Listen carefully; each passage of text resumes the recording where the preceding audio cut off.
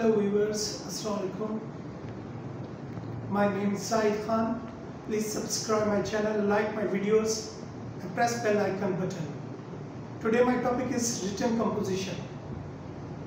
The knowledge of grammar and sentence constructions acquired in the preceding section can be put to real use in the section. The following section aim to help you to build up your communication skill. The communication skill will increase your chances of success in many aspects of life. You can't communicate effectively if you are merely able to produce correct sentence.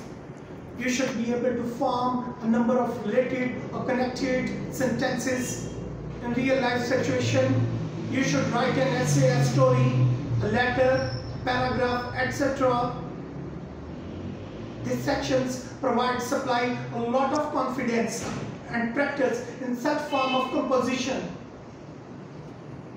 Unity, order and clarity. There are three main characteristics of good writing in journal. You must practice a lot. You can learn to write by writing. The section on comprehension and passive writing contain ample practice of material.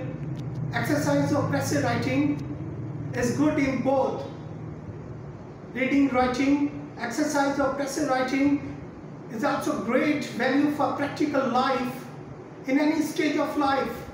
The ability to grasp what is heard or read and to reproduce it clearly and briefly is of utmost value.